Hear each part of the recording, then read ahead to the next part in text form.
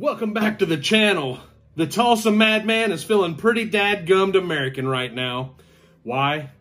Because our 1962 Rambler American hit the driveway. Bit of a fiasco.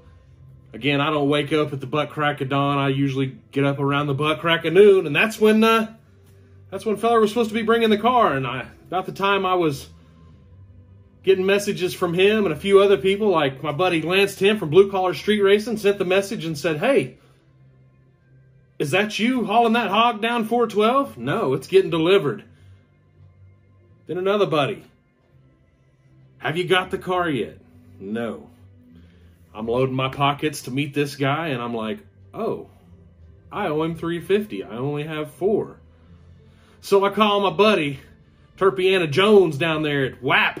Yeah, not what you're thinking. Wholesale Auto Paints.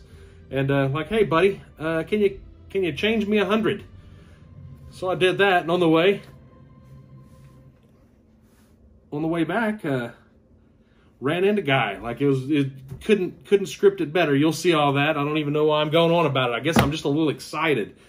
But anyway, the car's here. Got a brief walk around out there. Um, I'm gonna leave these things short and simple, man. Uh, hope you enjoy the video, and uh, thanks for the hat, Pops. Um, if you don't know the story, Pops died last February, and and he bought this hat to to wear to Elton John, and and he never got to make it. And this is the first time I wore the hat. Thanks, Pops. America.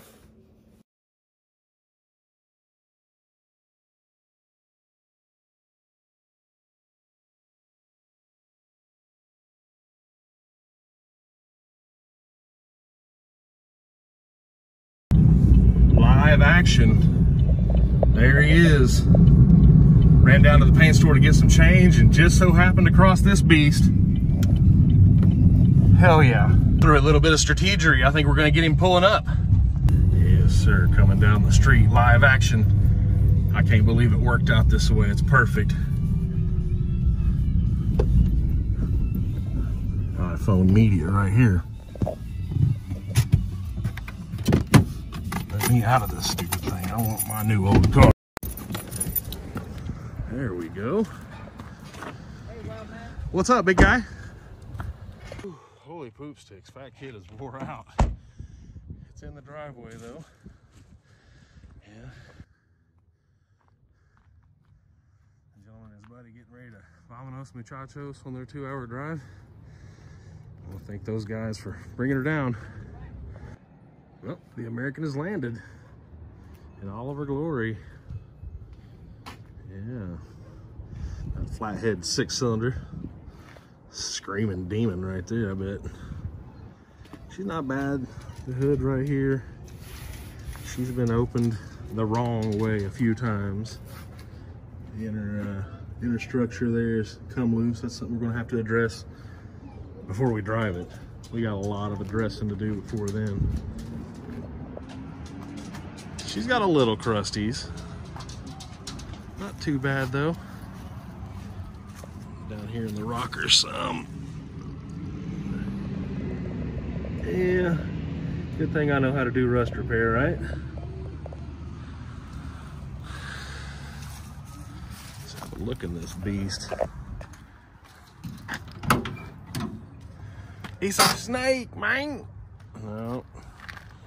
I like the white interior. It's actually silver, isn't it? Yeah, silver. Probably gonna have mom stitch up some white. Oh, any car, good car guy takes the change out of the ashtray. I grew up in salvage yards, like I said. We checked all the seats and all the things. I understand that these might have a reclining front seat so you could lay down. They were built for the businessman. We'll be checking that out later. I love that gauge cluster. Don't know what we're gonna do about that. Looks like she's got a little moisture in there. We're gonna have to pull the carpet up. That's one of the first things we'll do is check out the interior, pull the carpet out. Don't have keys. Hmm. Gonna have to try to get the back seat out maybe and uh, try that out or put the Jimmy on the old lock. Look at that, 94 was the last time this old Rambler was on the roads. This little body line, this is something that I've noticed on the internet. I was noticing that this, it's not, it's, it's welded all the way to there, but then it's actually got a seam right there. I, I couldn't quite tell on the pictures from the internet. But yeah, that's the way it is. I really like this cool back window. That was some something that sold me on the car. They roll down. How cool is that? To me, it kind of fits that street rod, mini truck, utilitarian feel, all, all of it. Back to the crusties. Yeah, we got some down here. A little worse on this side. I did look at the inner rockers on this thing before I bought. It looked pretty solid. How about these door handles? How cool is that? Lights, wipers. It's got the Manuel on the column. Oh, he went looking for change, but there was nothing but butts. Oh, I didn't do the cardinal. I'm talking about how cool I am. Oh, anybody Nissan choose? The old headliners gave up the ghost. Yeah. Didn't do the didn't do the thing. I'm talking about how cool I am on car scavenging. And I didn't even open the glove box. Ooh. KMOD 97.5 KMOD.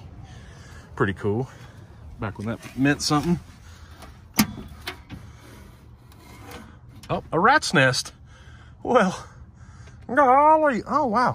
That's like fiberglass or plastic. That's pretty cool for this age of a car.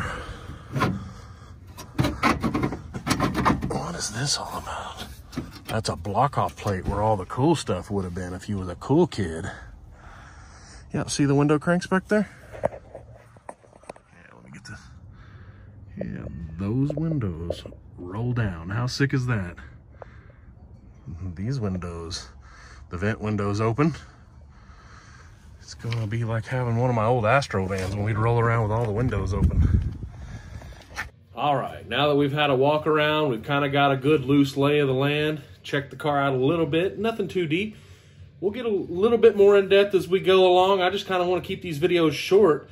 I want your opinions. Do we uh, just clean the windows and leave all the the uh, crusties on the body for right now, or do we do we pressure wash it and hit it with the uh, the uh, what is it the SOS pad and knock some of the big crusties off and just kind of give it that patina look, or what, what what do we do? I know my next step is is getting the interior out and checking out the floors to see how much we're going to have to cut to fit that S10 chassis under there.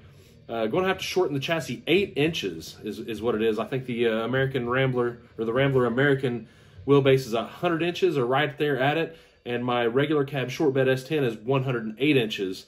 So that's something we're going to have to look at. But I want to see the floors and get a really good idea of how much cutting we're going to have to do. Um, I can go from zero to ignorant real quick. Um, I've kicked around everything from uh, a Molly 25 dot floor in it to where uh, keep some resale if I ever decide to sell it. Um, I thought about just shortening the stock S10 chassis. Um, what's bouncing around in my head right now is kind of a back half deal, 2x3. Uh, keep it leaf spring. I want to keep my back seat, um, so no big four links in there, at least parallel four links. Um, what are your thoughts, guys, now that we've checked it out? Uh, leave a comment below, like, subscribe if you don't already.